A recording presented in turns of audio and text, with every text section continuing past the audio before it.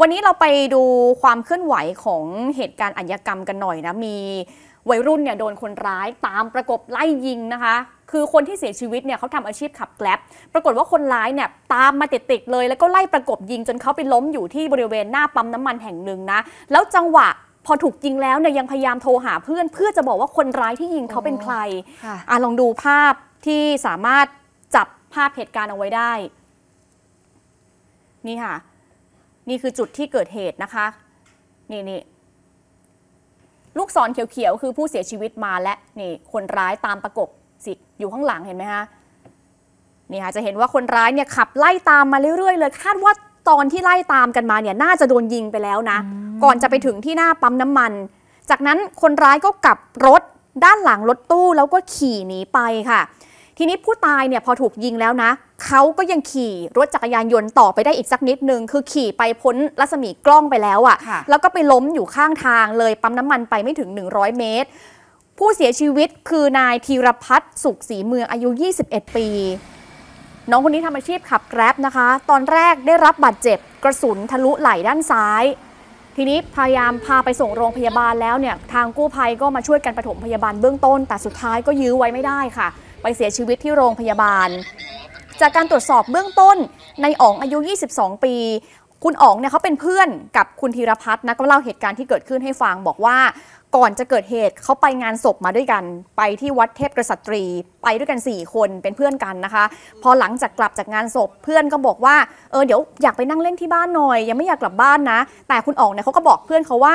เขาเหนื่อยแล้วเขาจะอาบน้ำเขาจะนอน แต่ว่าตัวของนายธีรพัฒน์เนี่ยขี่รถจักรยานยนต์ บอกว่าอะงั้นไม่เป็นไรงั้นเดี๋ยวเขาก็ไปทำงานต่อเขาก็ขี่มอเตอร์ไซค์ไปทำงานอยู่ในพื้นที่ตำบลเชิงทะเล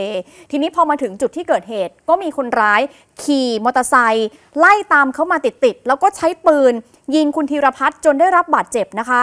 จากนั้นเนี่ยคุณธีรพัฒน์เขาก็พยายามโทรมาหาคุณอ๋องนะ แล้วก็บอกว่าเนี่ยเขาโดนยิงอืมคือเหมือนพยายามจะให้เพื่อนมาช่วยอะ สุดท้ายก็หมดสติไป ทีนี้ตำรวจไปดูที่เกิดเหตุนะคะ บอกว่าคนที่ก่อเหตุเนี่ยน่าจะเป็นคู่กรณีกับคุณธีรพัฒน์มาก่อน ชื่อเล่นชื่อว่านายกัส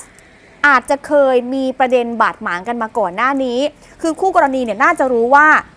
คุณธีรพัฒน์เนี่ยเขามักมาจอดรับลูกค้าอยู่แถวๆหน้าปั๊มน้ำมันจุดที่เกิดเหตุอยู่เป็นประจำก็เลยมาดักรอ แล้วก็ก่อเหตุยิงนะคะ แต่ว่าน่าจะบังเอิญมาเจอกันก่อนที่จะถึงปั๊ม ตอนนี้ตำรวจกำลังรวบรวมพยานหลักฐานก่อนจะออกหมายจับต่อไป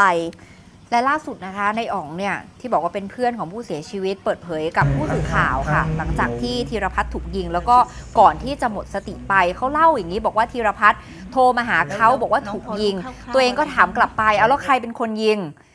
ธีรพัฒน์บอกว่ากัสยิงบอกแค่นี้ก่อนที่จะสลบไปแล้วก็เสียชีวิตลองฟังดูค่ะ คนที่เสียชีวิตเอ่อก็ตอนแรกจะนั่งเล่นกับผมก่อน แต่ว่าผมอะจะอาบน้ำนอนแล้ว ผมก็เลยบอกเพื่อนอืมเพื่อนก็เลยบอกงั้นเดี๋ยวออกไปวิ่งเก็บแล้วพอเพื่อนออกไปได้เป็นสักน่าจะห้านาไม่เกินไม่น่าจะเกินห้านาทีให้หลังเพื่อนก็โทรมาบอกเลย ว่ากูโดนยิงผมบอกว่าถามว่าใครยิงมึง แล้วเพื่อนผมก็ตอบออกมาเลยว่าไอ้กัดยิงกูอะไรประมาณเนี้ยครับอืมแล้วผมก็เลยผมเน้นเสียงเพื่อนแล้วว่าแปลกๆว่าเสียงเพื่อนผมเออมันเจ็บจริง มันเสียงมันไม่ปกติ ผมก็เลยรีบออกไปเลย แล้วไปก็เจอคือเพื่อนผมรถจอดอยู่ แต่ว่าตั้งขาตั้งนับไม่ได้ล้มแล้วผมผมผมเห็นรถปุ๊บผมก็เลยเลี้ยวไปจอด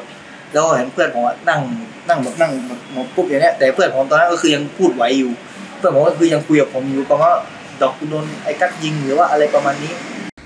นี่เป็นสายสุดท้ายเลยนะค่ะที่ได้ยินจากเพื่อนของเขานะคะ ซึ่งเขาก็ยืนยันว่าคนที่ยิงชื่อว่านายกัส ทีนี้นายกัสเนี่ยเป็นใคร คุณอ๋องบอกว่าสองสามวันก่อนหน้านี้นายกัสคนเนี้ยเคยมีเรื่องกับลูกพี่ลูกน้องกับคุณอ๋องด้วย แล้วกัสเนี่ยเคยมาตะโกน ด่ากับคุณอ๋องเนี่ยอยู่ที่หน้าร้านอาหารที่ทำงานอยู่ ทีนี้หลังจากเกิดเหตุที่คุณธีรพัฒน์ถูกยิงเนี่ย